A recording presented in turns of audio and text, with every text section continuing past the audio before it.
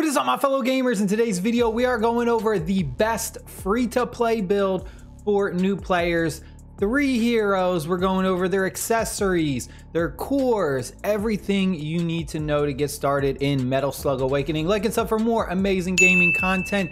This game, man, I've been having a lot, a lot of fun with this game. So let's jump into our heroes and go over this. I'll have timestamps down below because I'm going to go over each individual character for the three for our team.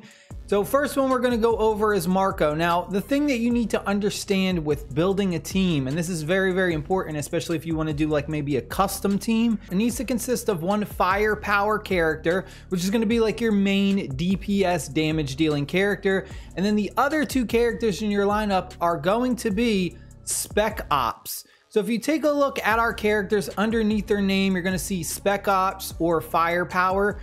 This is like the best way to go ahead and build out like a custom team. You should never ever have like three spec ops in one single team. The spec ops kind of do special things. They're not main damage dealers. The main damage dealers are going to be the ones that say firepower. So for this instance, for our best free to play team, we're going with Marco as our main damage dealer for firepower.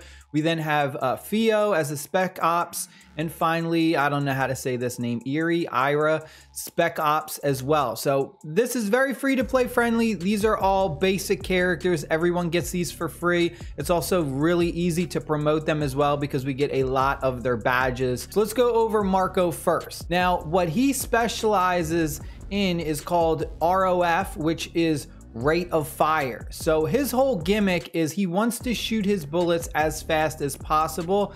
So because of that, for our weapons, we're going to be trying to equip weapons on him specifically that have that HMG next to it. So any type of gun that's an HMG gun is what you're gonna put on Marco. These are your basic assault rifle weapons and they shoot really fast. Um, so at the beginning, everyone's gonna get the Assault HMG for free. So you're gonna have to start off with this one, level it up, and then once you go ahead and unlock the Spark HMG, just go ahead, recycle the Assault stuff and transfer it all over to the Spark.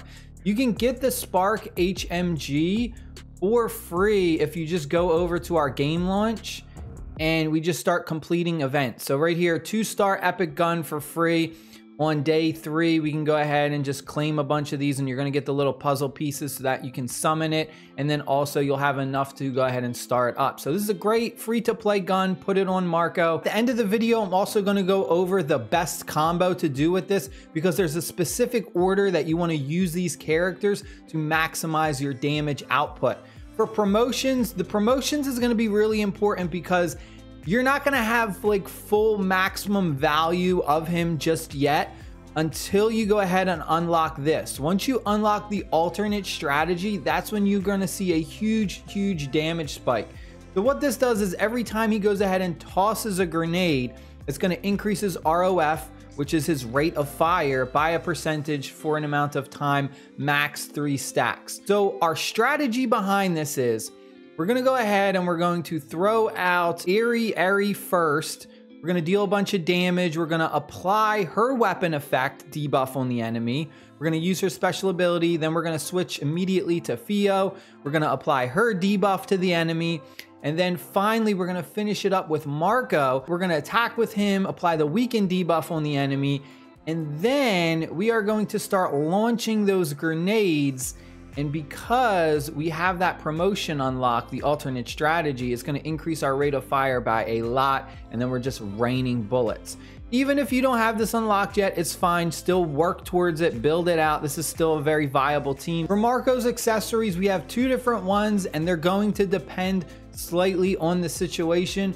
But once you do go ahead and unlock this promotion, the alternate strategy, you should only be using the triple thunderbolt. So when he goes ahead and uses his special ability, which throws a grenade, he now throws three grenades. And because of that, it's going to scale really well with that promotion of alternate strategy. So every time we throw one grenade, we increase it by 5% our ROF. So because of that, we're gonna be throwing three grenades with that accessory. So we're really going to take advantage of that that. So right now you can have something like explosive gas. Explosive gas is good for uh, AoE damage if you're going through PvE content and there's a lot of enemies. Otherwise, you're going to be using triple thunderbolt for burst damage, which is going to be ideal for boss battles, anything that has a lot of health, single target enemies with those big health pools. Two sets that you can use right now, but you're not going to have access to the best sets for him until you unlock Joint Operations Hard level 1. So we got to get to Commander level 35 before we even have access to that which is fine, but it's going to be, again, something you're building towards. So the two best core sets you can use for Marco early on until you unlock hard level one is going to be this one right here, which is going to increase our rate of fire by a percentage for our two piece set.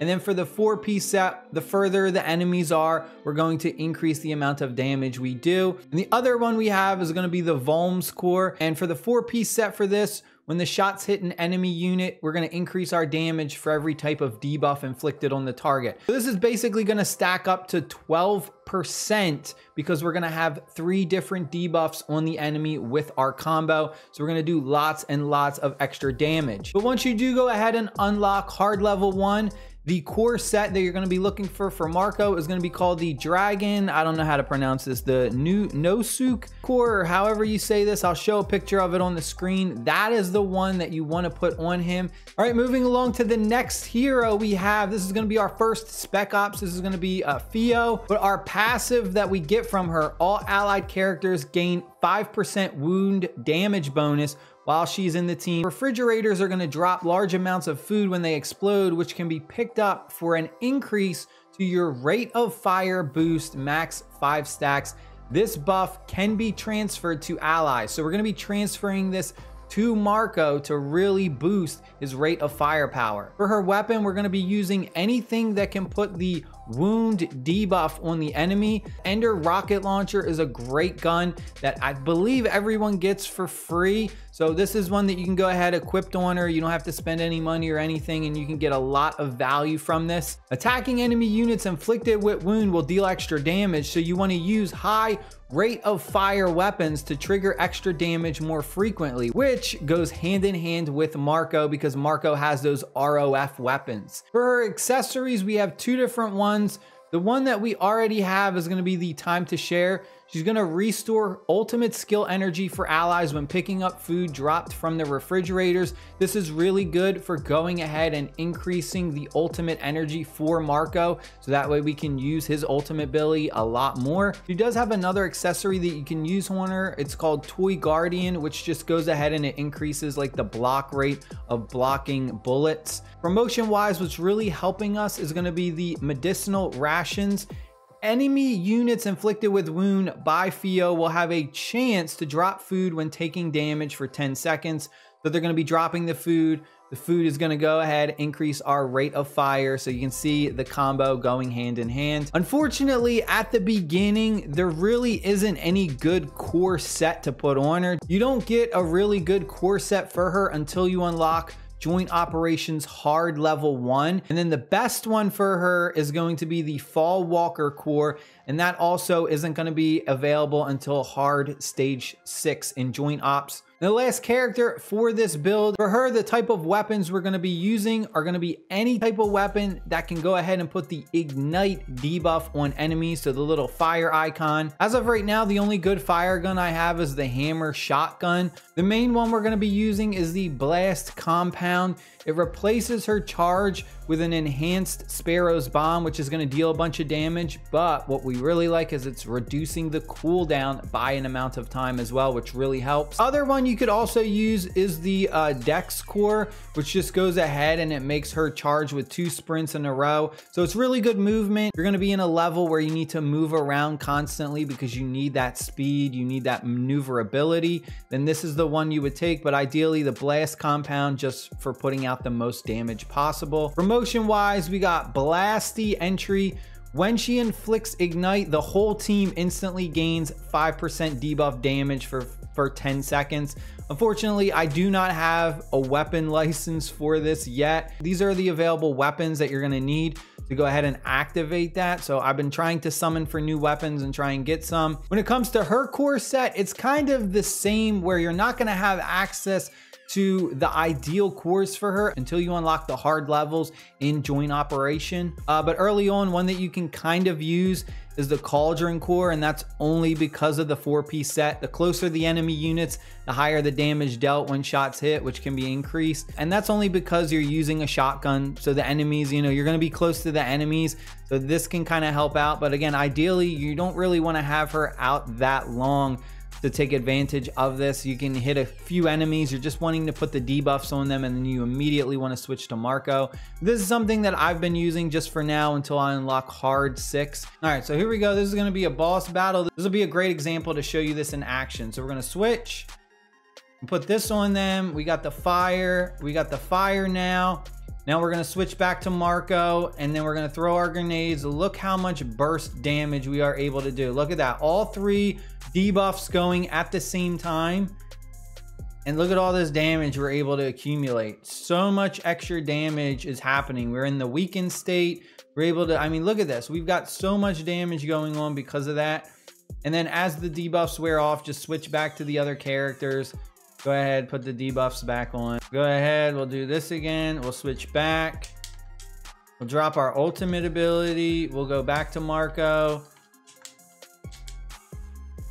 And there we go. All three debuffs. Super effective, super simple, absolutely free to play. Don't need to spend any money in this game. Hope you guys and girls enjoyed the video. Stay happy, stay safe. I'll see y'all later. Peace.